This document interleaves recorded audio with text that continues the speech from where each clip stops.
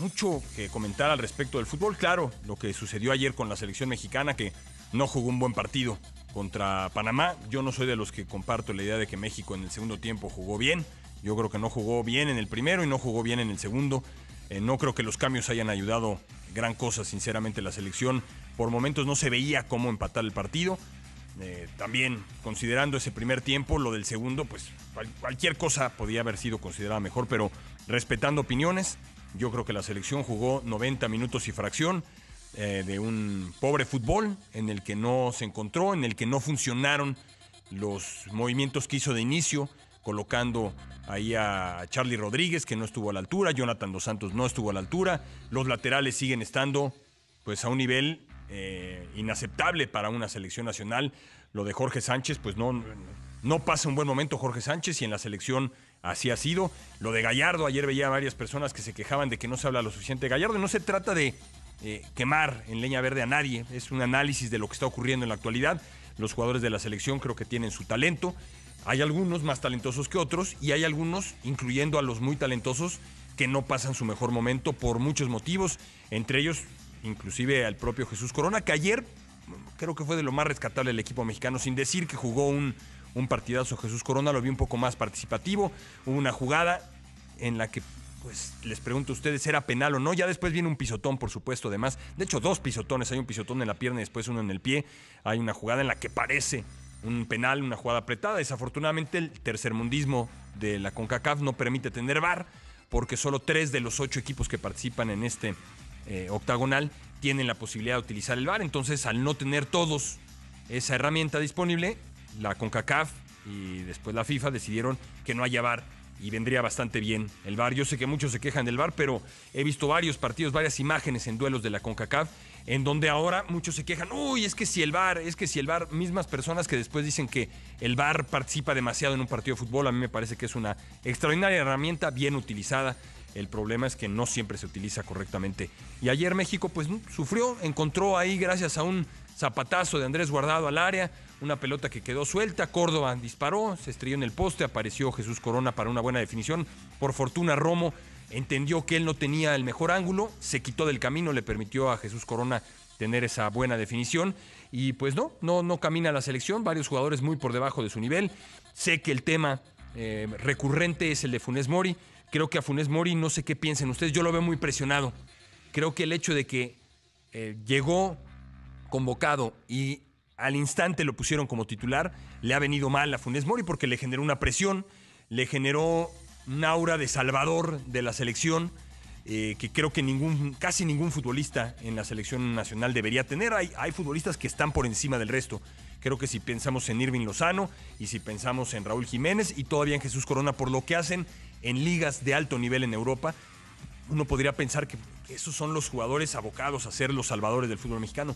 Un delantero del Monterrey, eh, llámese como se llame, eh, pues va a estar por debajo de esas expectativas, en mi opinión. Creo que ninguno de los futbolistas que está hoy en el fútbol mexicano, que participan en la selección, son jugadores del más alto nivel.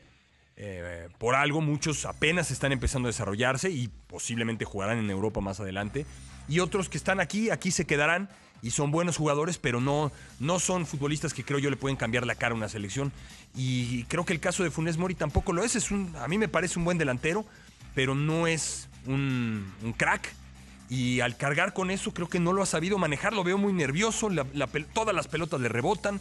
Em, aparece poco. En el partido de ayer, también siendo sinceros, con lo que jugó México en el primer tiempo, podía haber jugado ahí Robert Lewandowski y no iba a tener muchas posibilidades de gol, eh, porque pues, México no encontró la manera de generar realmente peligro, de poner frente al marco al delantero de la selección. Solo hubo una jugada ahí en la que el defensa panameño se cruza correctamente y le tapó a Funes Mori después de un buen balón, creo que fue de Tecatito, eh, pero no lo veo bien y creo que en el partido de ayer se comete el error eh, que es muy fácil para mí decirlo ahora a toro pasado, pero desde ayer andábamos, y es más, desde antier decíamos que posiblemente lo más sano para la selección era que no arrancara de titular a Funes Mori, quitarle un poco esa presión, decidieron ponerlo de titular y otra vez no tiene un, buen partido. Ahí está el debate, si ya es un fracaso. Ayer alguien me preguntaba que si es un fracaso Funes Mori. Me parece muy temprano para calificar a Funes Mori de fracaso en la selección. Sí me atrevería a decir que ha sido de los jugadores de más bajo nivel hablando de la eliminatoria, ya que es lo importante, ya lo que ocurrió en el verano, ya ahí quedó,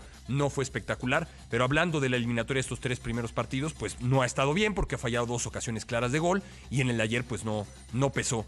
Pero no es el único, no es el único. Cuando no generas fútbol alrededor del centro delantero, pues va a ser difícil que este, salvo que sea un jugador del nivel de Lewandowski, del nivel de Haaland, eh, de los mejores centros delanteros del mundo, pues va a ser difícil que este futbolista pueda generar algo.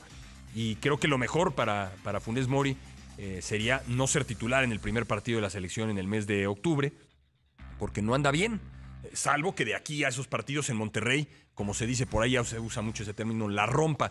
Y el Funes Mori del último torneo, sobre todo de la última parte del torneo anterior, porque el inicio no fue malo, de la última parte del torneo anterior, del verano y de hoy, pues está lejos del mejor Funes Mori que hemos visto en el fútbol mexicano. Pero también siendo sinceros, ayer ingresó Henry Martín y creo que no pasó mucho con Henry Martín, en parte también porque como centro delantero, si no tienes balones, va a ser difícil. Henry Martín no es un crack que va a agarrar la pelota y él mismo se va a generar un gol, no es Ronaldo, no es Cristiano Ronaldo, no es Romario, no es uno de esos futbolistas que puede agarrar la pelota y él armar, armar juego eh, por sí solo. Y, creo que ayer tampoco marcó diferencia. Por eso digo yo que creo que la selección ayer mejora ligeramente en el segundo tiempo, pero no me parece que haya sido un buen segundo tiempo. Y pensar en que lo que ocurrió en el segundo tiempo es la respuesta, y me refiero a los jugadores que ingresaron ya nada más porque se jugó mejor que en la primera parte, pues yo no lo compartiría. Creo que México jugó 90 minutos en los que en general fue superado por Panamá, que le quitó la pelota, eh, que fue práctico, que fue inteligente, que, por momentos metió más la pierna que la que metían los jugadores mexicanos, algunos de los jugadores mexicanos, y con eso Panamá parecía que le iba a bastar para ganar. Apareció una jugada, eh, no quiero decir fortuita, porque es una jugada en la que México busca un balón al área y la pelota le termina quedando ahí a Jesús Corona después de un, buen disparo de Córdoba y termina empatando el partido. Ya si es justo o no, si era merecido que México empatara, no lo sé. Creo que en general Panamá había jugado mejor, había superado con sus medios al equipo mexicano. Eh, ya tenemos al señor Christopher Rivera a Hugo Villagómez. Tenemos al querido Hugo Villagómez para platicar con él del partido. No, no sé qué tanto alcanzaste a escuchar, Hugo, de lo que yo mencionaba, eh, pero nada más para ponértelo ahí sobre la mesa y, ver si estás de acuerdo o estás en desacuerdo conmigo. Decía yo que hay personas que consideran que México mejoró sustancialmente en el segundo tiempo en el partido de ayer. Yo creo que no. Yo creo que México no generó mucho en el segundo tiempo. Es cierto que por ahí hubo una intervención eh, fantástica del meta panameño a un disparo de, Córdoba. La otra jugada en la que el portero saca un, balón por ahí, eh, no me parece que era una, jugada espectacular. Creo que el portero la hizo un poco más espectacular de lo que en realidad era esa jugada. Pero sí, sí se puede decir que México, Hugo, eh, generó un poco más en el segundo tiempo porque también Panamá se tiró más atrás después de salir con muchísima intensidad en ese primer tiempo. Y entonces eh, el, portero Mejía tuvo que aparecer en un par de ocasiones. Tampoco es que México haya generado mucho. Yo sigo pensando que México, de los tres partidos que disputó en la eliminatoria, y tomando en cuenta, claro, que jugó como visitante en, en este último en Panamá y que había más público que lo que hubo en Costa Rica, creo que de los tres partidos, por mucho es en el que menos fútbol le vi y no me sorprende que por ende eh, es en el partido en el que menos puntos haya sumado. ¿Cómo estás, mi querido Hugo? Te mando un fuerte abrazo. Sentar contigo para platicar un ratito de, la actuación de, la selección mexicana y coincido a, grandes rasgos en lo que mencionas. Yo a veces ya no entiendo mucho la crítica. Ahora resulta que en este segundo tiempo se dio una gran mejoría cuando sinceramente los partidos ante Jamaica, el primer tiempo y el primer tiempo ante Costa Rica me parece que fueron de un nivel aceptable con un equipo mexicano que tenía la posición de la pelota y como bien mencionas ayer Panamá, la encomienda era, eh, una amplitud eh, ofensiva eh, por las bandas, mandar inmediatamente centros y tratar de agarrar a los centrales mexicanos mano a mano con la delantera panameña. Creo que les ha resultado, Juan Carlos, desatenciones, a mí me parece increíble y te juro que no es nada personal contra Jorge Sánchez, pero la libertad que, le da a los jugadores para centrar en la primera jugada del gol panameño, tiene todo el tiempo del mundo para sacar el centro y ya voy con el tema de Gallardo, que también cuando el balón llega al, sector derecho, también le dan unas libertades eh, eh, espantosas, eh, preocupantes. Entonces, yo insisto en el que el talón de Aquiles de, este, de, la selección mexicana siguen siendo las bandas. A mí Gallardo no termina por convencerme.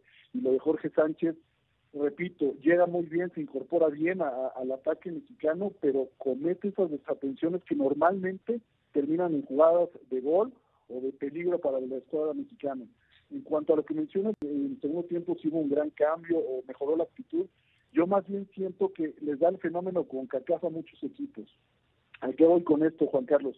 Estás ganando el partido, estás siendo superior al equipo mexicano y lejos de ir por más, no sé si las piernas ya no le dieron a los futbolistas, también hay que señalar que la cancha estaba complicada ahí en el Rommel Fernández, pero Panamá tenía todo para liquidar a un equipo mexicano que no encontraba rumbo, un Romo perdido en el medio campo junto con Jonathan Dos Santos, eh, los cambios en el segundo tiempo tampoco que hayan revolucionado al cuadro mexicano, yo más bien pienso que fue el ya aguantamos aquí y tratamos de sorprender a México con latigazos, cosa que ya no sucedió, y poco a poco con los chispazos y destellos de, de Córdoba, con la calidad y tranquilidad que tiene el Tecatito, pues con eso le basta al equipo mexicano para sacar adelante un compromiso que parecía se nos iba de las manos, se le iba de las manos al, a la escuadra mexicana. Entonces, a grandes rasgos creo que es aceptable esto, obtener un punto en las circunstancias en las que se dieron. No veo una gran hora, incluso me atrevo a señalar que de los seis partidos que le he visto a la selección mexicana, tanto amistosos como oficiales, me atrevo a señalar que este es de los tres peores el partido contra Argentina, algún juego contra Japón y este contra Panamá, un primer tiempo eh, de verdad complicado.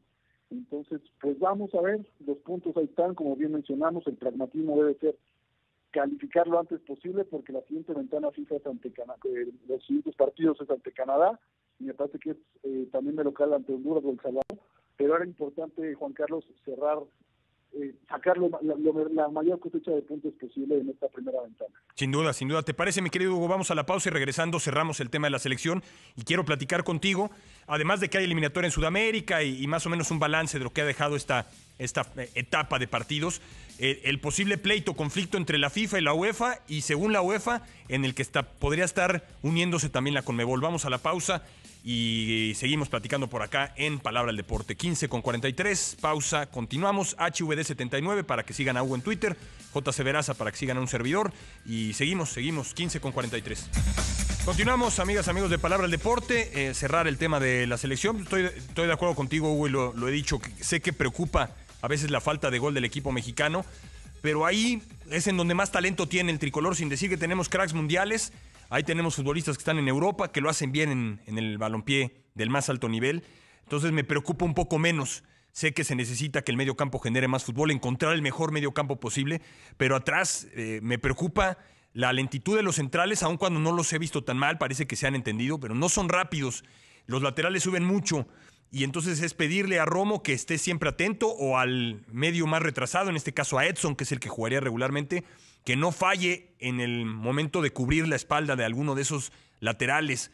Y sobre todo los laterales, pues no, no los veo bien. Eh, lo describiste perfecto. Demasiadas ventajas, tanto de Gallardo como de Jorge Sánchez. Ya no solo se trata de que al ataque han aportado poco, se trata de que en su tarea más importante, la de un lateral derecho, un lateral izquierdo, sobre todo porque en este caso no son carrileros, no es línea de 5 de 3 como ustedes la quieran ver, son laterales. Lo primero que tienen que hacer bien, fundamentalmente, es tapar al que juegue por la banda del equipo rival, eh, ser un jugador que no permita, como bien decías, los centros. Ya después, claro, aportar al ataque en el fútbol de la actualidad, eso es importante, pero no los veo ni aportando mucho al ataque, sobre todo a Gallardo. Creo que Sánchez ha aportado un poco más al ataque en estos partidos, pero defendiendo dejan, dejan dudas y creo que eh, ahí atrás es donde tengo más dudas con el equipo mexicano, precisamente con, con la zona defensiva. ¿Algún último comentario, mi querido Hugo, de, de la selección para, para poner sobre la mesa este posible lío que podría enfrentar a la UEFA y a la FIFA y en donde según el señor Seferín de la UEFA también podría estar involucrada la Conmebol. Eh, nada más también aprovechando eh, que, me diste pie, bueno, alcanzó a escuchar lo que mencionas de, de, Rogelio Funes Mori y yo, yo comparto cuando se daba el tema de su naturalización y su posible convocatoria, tú y yo, o bueno, también eh, mencionábamos que un jugador de sus características y que se asemejara mucho a lo que hace Raúl Jiménez, pues en el mercado mexicano en jugadores nacionales no existe un jugador con esas características. Sí, de acuerdo. Y la gente se le va a la yugular ahorita a Rogelio Funes Mori cuando seamos honestos y sinceros. ¿Cuántos balones o cuántas jugadas lo, ponen en posición de gol? Yo sé que ha tenido errores y no ha, no ha estado muy claro eh, a la hora de definir, pero el, partido de ayer concretamente peleó, trató de retener el balón, abrir hacia las bandas para que lo nutrieran, pero en, el, en la última jugada, a la hora de mandar el servicio, pues se quedaban cortos o, o largos o cortos. Entonces, yo no me iría eh, a, matar ahorita a Funes Mori y mucho menos en el tema de la portería también con, con Guillermo Ochoa, yo sé que muchos ya piden la salida. Ayer, en la jugada, eh, Juan Carlos, tuviste la oportunidad de escuchar los comentarios de un portero, bueno, ¿de qué portero? De Jorge Campos, y eso es para conocedores. Él menciona que él se la hubiera jugado a dejarla pasar porque él tiene como referencia al centro delantero que lo ve de frente y sabe que ya no llega nadie atrás. Entonces dice, yo me la hubiera jugado a dejarla pasar. Creo que está bravísimo el tomar esa decisión, pero eh, sepultar a Ochoa también me parece, y mira que yo ahorita no lo, yo soy, yo era de la idea de, que le dieran ya oportunidad a alguien más, pero Ochoa me parece que independientemente del error, le ha dado tranquilidad, sobre todo a la saga central, que bien mencionas, que ha estado bien ubicada, y esa principalmente es la labor de un portero, tratar de ordenar, de ordenar a, a tus defensas, decirles por dónde pararse más o menos, porque ellos tienen la perspectiva completa del terreno de juego. Entonces, para cerrar ya únicamente el tema de selección nacional, positivo, no tan positivo ayer el triunfo de Estados Unidos que yo esperaba que cayera con Honduras y de forma sorpresiva remontan ya al final y le clavan cuatro pepinos a la selección hondureña.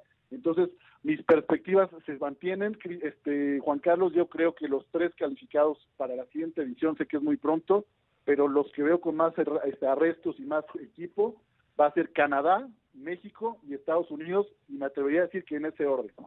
Pues y ahorita están así, gracias a, a la goleada de Canadá de ayer sobre El Salvador, que empezó gracias a un gol tempranero y de ahí no vieron hacia atrás. Y el partido de Estados Unidos, loco partido, porque hasta el minuto casi 80, 70 y tantos minutos iban 1-1.